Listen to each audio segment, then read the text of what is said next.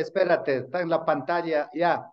Señoras y señores, damas y caballeros, es un gusto hoy día. Ya se colgó, viernes, compañera. Viernes 28, estamos conectados con el presidente de la CEDOCUD. Estamos listos. Presidente de la CEDOCUD, don Mesías Tatamuez Moreno. La CEDOCUD, al igual que otras organizaciones sindicales y laborales agrupadas en el CUD, están respaldando la candidatura de Jaco Pérez a la presidencia de la República. Este es el programa Claro que se puede en su versión número 5 y estamos con don Mesías Tatamuez. Don Mesías está definitivamente consolidada esta alianza que respalda a Jaco Pérez. Bienvenido, muy buenos días. Bueno, mire, yo creo que la alianza no se trata que solo sea de, un sector, sino que la alianza tiene que hacerse con el Ecuador, con el país. Una alianza para, para ganar la presidencia de la República tiene que ir más allá del nivel sindical, del nivel eh, obrero, del nivel campesino, tiene que ser global, integral dentro de todo ese nivel.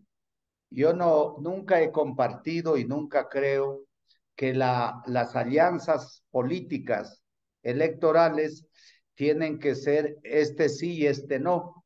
Hay que ir conversando con todo el mundo y hay que buscar una alianza de todos los sectores, hombres y mujeres, para que participen dentro de todo este proceso.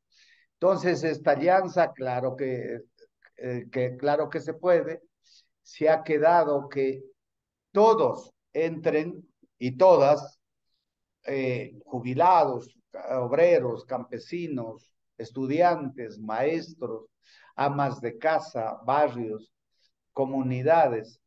Lo que se trata que cómo enfrentamos al neoliberalismo. Ahí está toda la pelota. ¿Cómo enfrentamos al oportunismo? ¿Cómo enfrentamos a todo, a todo el espacio de lo que tiene que hacerse en los procesos? Porque los procesos no se hacen por personas.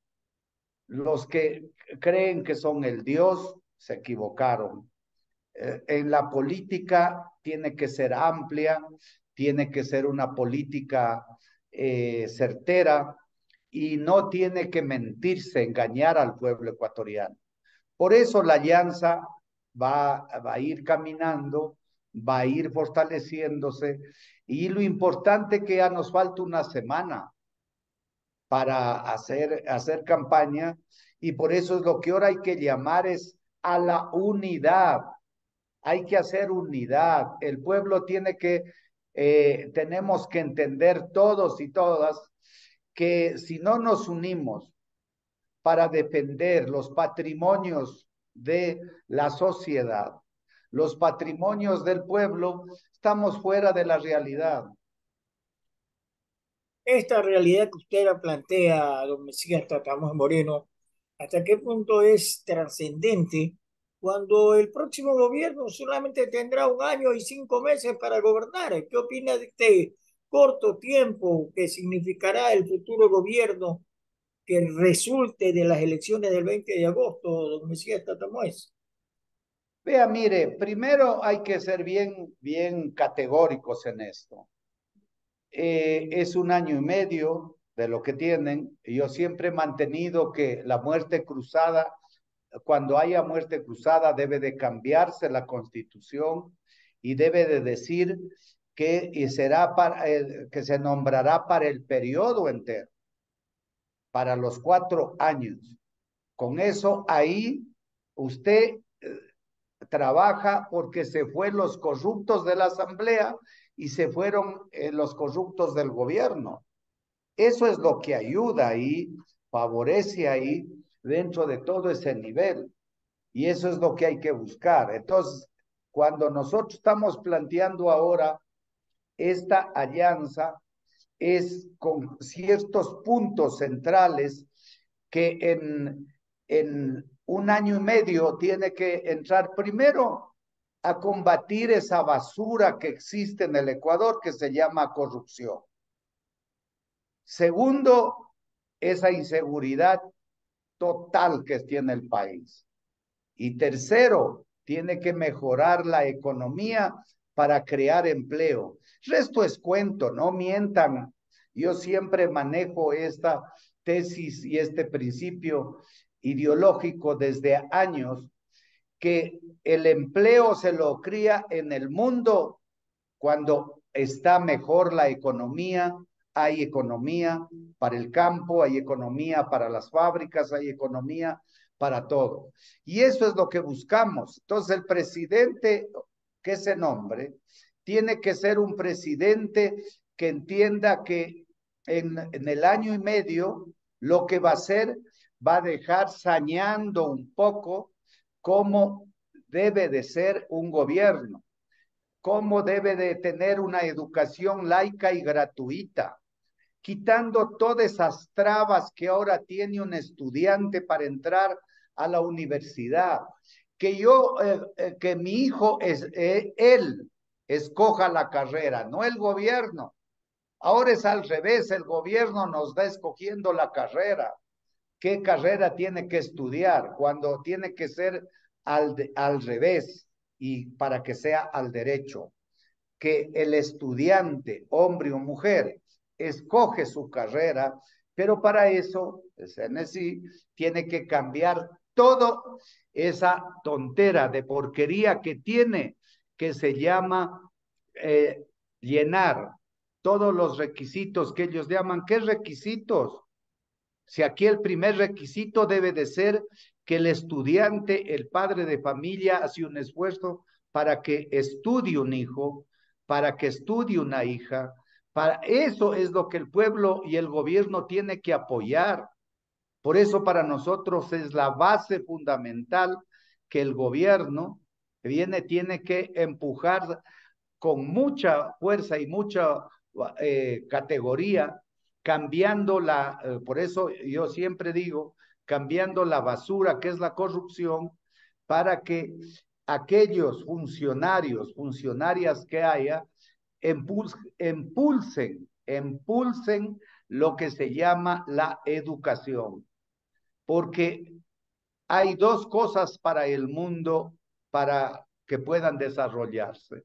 Un pueblo sano, un pueblo educado una economía sana, son los que manejan el motor, el motor del desarrollo en el mundo. Si no hay un pueblo sano, si no hay un pueblo educado, por eso todo tiene que salir la educación dentro de estos niveles. Y eso es lo que tiene que hacer eh, en este, la pregunta que me hace en este año y medio. Este año y medio es muy difícil y así puede quedarse para ah, y puede ir a la reelección si es que tiene un buen apoyo del país a la reelección del 2025. Ahora, don Mesías Tatamuez, se ha dicho que los candidatos a la presidencia de la República no se han pronunciado sobre el tema del IES y sobre todo sobre las propuestas de la comisión que nombró el presidente Guillermo Lazo, que la encabezó el doctor Augusto de la Torre y otros. En este sentido, eh, ustedes como CEDOCUT tienen criterios específicos sobre el tema de la seguridad social. Estos, considerando de ustedes, los tiene como propios el candidato Jaco Pérez Huartabel. Vea, mire, nadie tiene claro sobre lo que debe de ser una educación. Pero qué buena la pregunta, porque hoy día, hoy día, dijo el señor de la torre que sacó, ellos son una ente aparte, que no son del gobierno. Mire cómo se miente al país. En el canal 1 ecuatorianos, no hago propaganda, véanle ahí. Ahora estuvo ahí diciendo que ese, que el presidente de la República ha conocido la propuesta cuando ellos han entregado sea, ellos han aparecido del aire, han aparecido de, del cielo a salvar la seguridad social.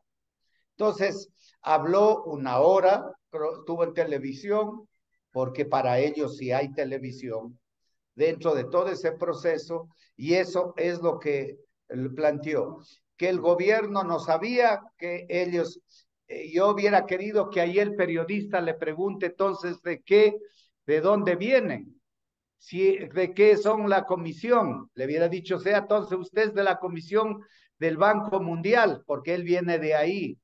Entonces, eso planteó ahora el señor de la Torre y él plantea que hay que ahorrar y ahorrar, pero él no se pone a pensar que aquí hay miles de ecuatorianos que viven con un dólar, dos dólares, tres dólares, cinco dólares. Y eso no lo dice Mesías Tatamuez, no lo dice la CEDOCUD, eso lo dicen estudios profundos de las Naciones Unidas que han hecho aquí en el Ecuador hace rato. ¿Por qué no dicen que hay un desempleo más de 5 millones de ecuatorianos? Si ahora el, el empleo hay que amarlo, hay que quererlo y hay que, y hay que cultivarlo. Pero eso no dicen. Ellos lo que dicen, ahora le escuché yo de lo que dice usted al señor de la Torre y que esas propuestas que ojalá cojan los políticos, ojalá cojan los ciudadanos, ojalá cojan eh, cierta gente. Lo único que ya no nos insultó, porque eh, otros días lo veía que estaba insultando que nosotros nos oponemos y punto. Y ahora ya le preguntaron, los, los sindicatos están en contra. Y él dijo, sí, porque no han leído, que leamos todo la propuesta y en fin. Le decimos al señor de la torre, le contesto, le digo, señor de la torre, esa propuesta es del señor Lazo y del Banco Mundial y de ustedes que han venido haciéndole daño a Cerrado.